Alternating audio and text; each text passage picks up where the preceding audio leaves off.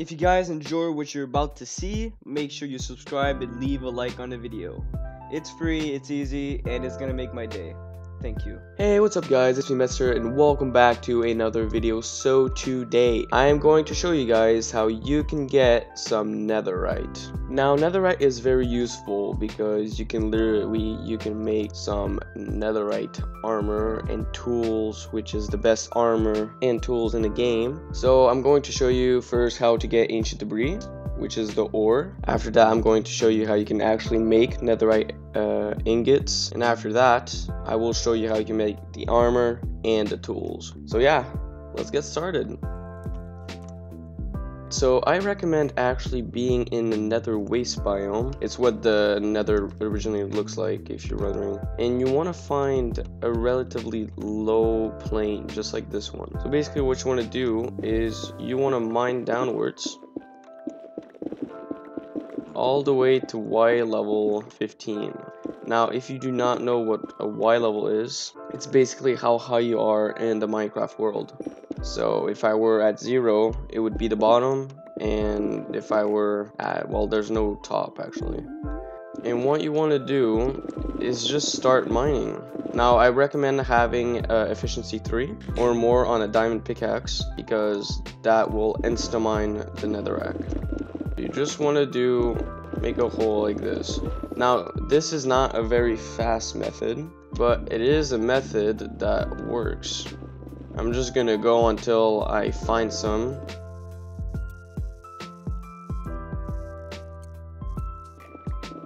There we go. And that is what ancient debris looks like now they can come in veins I think they go up to four I'm not sure on that. This one was two. Now, as you can see, I dug a pretty big hole, so these are pretty rare. Now, I'm going to show you a way you can actually get it faster. Now, what you're going to need for that is some TNT. What you want to do is dig in a straight line for a long time.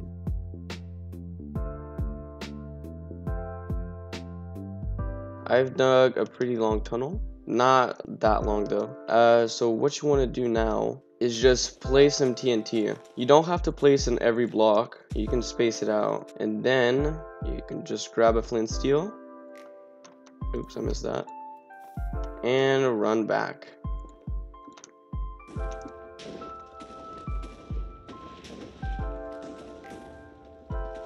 as you can see, it's gonna clear a big chunk out of the nether. Now, there is a lot of lava, and you probably want to clear that. So, you might not find... I got really unlucky. Usually, I find a lot using this. Uh, I'm gonna try another strip. Let's activate the TNT. Let's run back.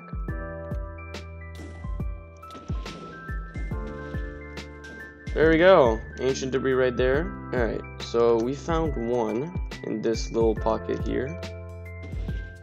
Oh, Ancient debris right there. Oh, so that's a lot of lava. Alright, so let's see how much ancient debris we got in that one. I saw one up there, yeah. Oh, we got another one up there.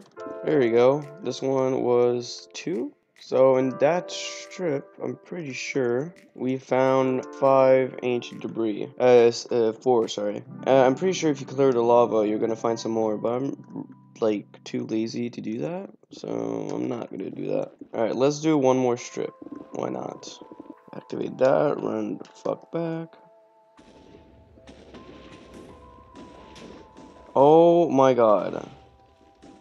Well, that's a lot of lava. Jesus Christ. Okay, there, there's no lava over there. There we go. We found three over there, which is awesome. Oh, there's one right here. Alright, let's get that. Alright, so there's two more over here. This one was very successful. We find we're finding a lot in this one. Uh, it's two.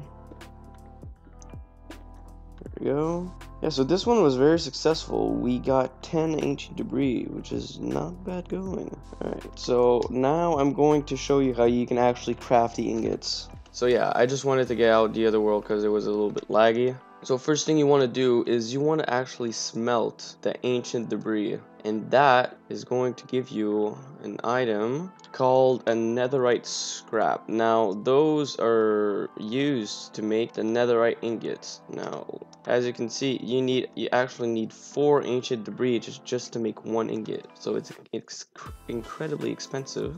Alright, so you can actually use the netherite ingot, convert your netherite tool, your diamond tool, into a netherite tool. So you actually only need one to upgrade your diamond your diamond tools all the way to netherite. Now, you might be asking yourself, can I convert my, my tools I already have enchantments in them? I'm going to show you that now. As you can see, it is going to keep the enchantment that is already on it. So you need 9 to make the full set, and that is how you look. Now, I'm not gonna lie, you look pretty sick. So I want to thank you all for watching this video. I really appreciate it. If you enjoyed, make sure to leave a like and comment on the video for video ideas, support, anything. I will respond to them. So yeah, I'll see you guys in the next one. See ya.